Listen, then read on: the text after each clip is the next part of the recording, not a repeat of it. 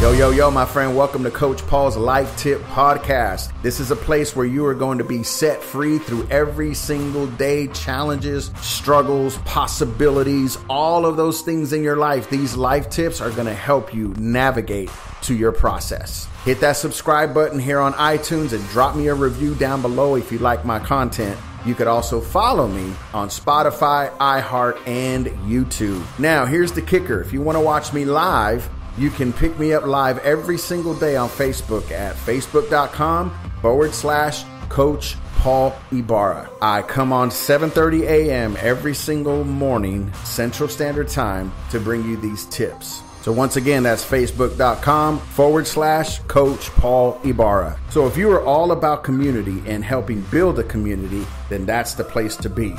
With that being said, sit back and enjoy the ride.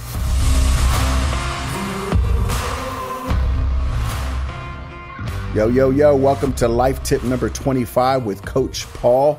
And this one here is one that I really truly believe that is going to set you free because I think everyone in life at some point uh, deals with this issue right here.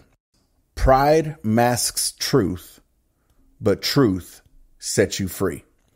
Now, what does that really mean? I know that you you are sitting there going, well, I'm not very prideful. I mean, I go to work, I, I treat people well, I do this, I do that. But pride masks so many different things. So in the word, it says pride comes before a fall. It's sad but true. And in the word, it says that when that comes is because you've got a haughty nature. You know, pride isn't always about being right it's not always about being pompous or even being arrogant. But also, what pride is about is about hiding from the truth. When maybe you've been hurt, you've been offended, you've been ridiculed, you've been abused. You begin to start building these walls when something has happened to you. And it's okay to share with somebody that you feel a certain type of way. And this is where pride comes in, especially those who have been abused, emotionally abused, physically abused, mentally abused. Abuse is a real thing. And it's not only something that comes against women, this is something that comes against men as well. And so that pride will begin to cause you to mask something in your life that will make everyone seem like you're okay, but inside you're a broken mess. And so, in that abuse, when something has happened to you, like I said prior, it's okay for you to share with somebody that you feel that certain type of way. For instance, when people go to church, and I'm not here to bash churches, I've built a church. But truth be told, when you show up to church, we get caught up in the whole language of Christianese. How are you today? I'm blessed. How are you today? I'm doing good. But inside, they're a mess. And so, this is where pride comes in, not only because you don't want to share with nobody, but it's almost as if you feel like you're going to embarrass God for having a bad day or having a bad situation. Listen, you go to a doctor to get healed. So you ought to be able to go to church to be real with people. Now, if you're going every week and you have the same issue and you have the same problems, yes, at some point you've got to start speaking life into yourself. Tip number 24 was affirming yourself, right? And so you have to affirm yourself. But we all have come to a place in our life where life has beat us down. Life has exhausted us. And so when you have that pride, that prideful mentality, you begin to think like, I've got to hold everything together right? But then all those walls that you build up, you think they're promises to yourself, but they're really something that's going to implode outside of you. And so Christ tells us in Luke 17 that offenses will never end and that it's an everyday thing. So, my question for you today is this because this is an area of everyone's life or people's life that really truly concerns me. All right.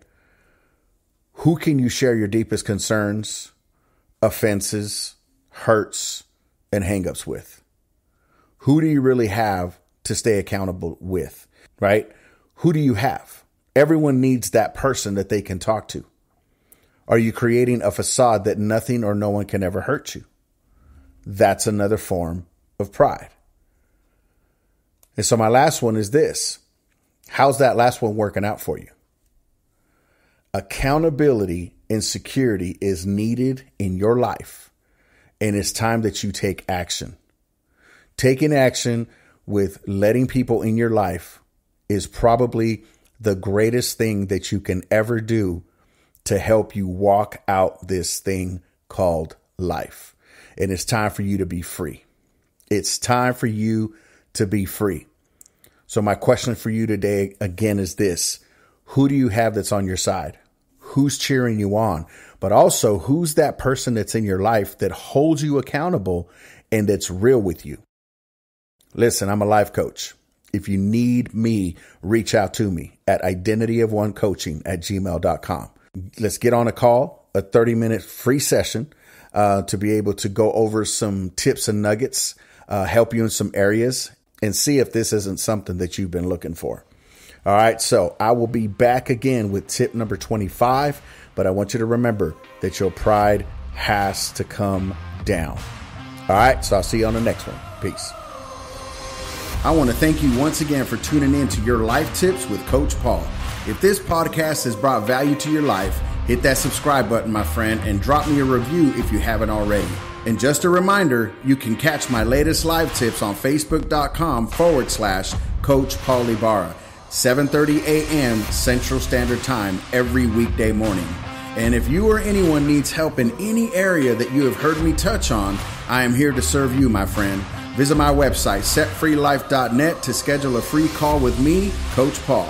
So, until we meet again, keep it moving and share some kindness with someone today. God bless.